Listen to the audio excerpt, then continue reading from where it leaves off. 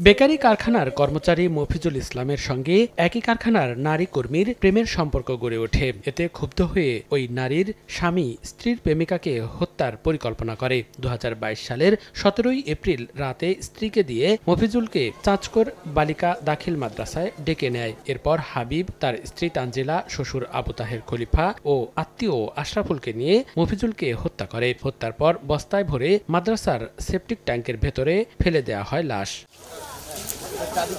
নাটোরের গুরুদাসপুরের এই হত্যাকাণ্ডের পর ঘটনাটি তারা ধামাচাপা দিয়ে তানজিলা ও হাবিব সংসার করছিলেন। তবে তানজিলা ও হাবিবের দ্বন্দ্ব হলে দু হাজার তেইশ সালের ষোলোই মে তানজিলা আদালতে হাবিবের বিরুদ্ধে নির্যাতনের মামলা করেন। এই মামলায় হাবিব কারাগারে গেলে সেখানে ঘনিষ্ঠতা হয় একই এলাকার জাকির মুন্সির সঙ্গে।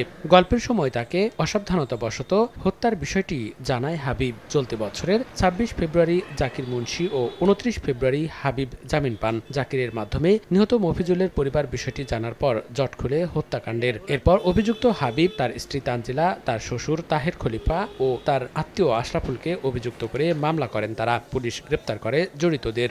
এক মিনিটে নগদ ইসলামিক অ্যাকাউন্ট খুলতে ডায়াল করুন। চার ওয়ান সিক্স সেভেন হ্যাশ। সুষ্ঠু তদন্তে যারা দোষী তাদের আইনের আওতায় এনে সঠিক বিচার চাই। দৃষ্টান্তমূলক শাস্তি চাই যেন ভবিষ্যতে এরকম ধরনের কাজ আর কেউ না করতে পারে। আমার বিটাক যারা মারিছে তাদের আমি ফাঁসি চাই। আর আমার লাতির যে কোল খালি করছে এরকম কোল খালি করিয়ে যেন ওরে ফাঁসি হয়। আমার বেটা ছিল আমার তো সেইভাবে ফাঁসি চাই আমি। গ্রেপ্তারকৃতদের দেয়া তথ্য অনুযায়ী আদালতের অনুমতি নিয়ে ওই সেপটিক ট্যাঙ্ক থেকে মফিজুল ইসলামের দেহাবশেষ উদ্ধার করে পুলিশ। জাকির এসেও আমাদেরকে একটু তথ্য দেয় যে এই হাবিব কারাগারে তাকে এই, এই এই মাফিজুল হত্যাকাণ্ডের একটি ঘটনা বলেছে। হাবিব নিজে এবং তার স্ত্রী এবং তার শ্বশুর তাহের খলিফা এবং তার স্ত্রী তানজিলা বেগম এই হত্যাকাণ্ডের সাথে জড়িত। আদালতের নির্দেশক্রমে এই লাশটি সেই একই জায়গায় আমরা ঘুরে পেয়েছি।